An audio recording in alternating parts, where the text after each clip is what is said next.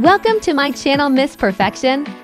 Today, women are redefining life in their 60s. This is no time to turn into a wallflower like the mother dash of Dash the Dashgram who shows up in beige, or become bogged down by limited options. This is a decade of distinction and self-expression, tempered by the grace and wisdom that only a 60-something woman can possess. By the time you've reached your 60s, your outlook is refreshing you've learned not to take yourself or life too seriously. The smaller and safer the pattern, the more granny it can become. Love florals. Go for a print with big.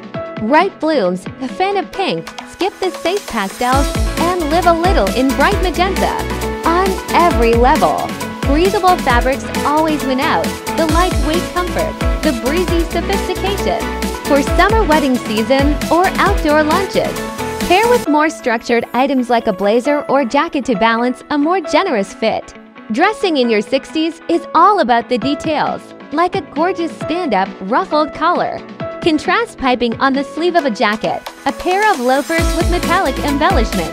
Look for pieces that feature a whimsical twist on a classic style. Don't let anyone tell you that you should ignore trends in your 60s. Seasonal color palettes and fabrics are your oysters and the perfect way to keep your wardrobe feeling current. By now, you know what styles and cuts fit you best. So start there and see what comes down the runway. Elevate an everyday look with artful layering. Pair soft knits with tweeds or raw silk with wool. Layer long necklaces or stack bangles in different metallics. The more limited your color story, the more experimental you can get with your layers. And subscribe my channel.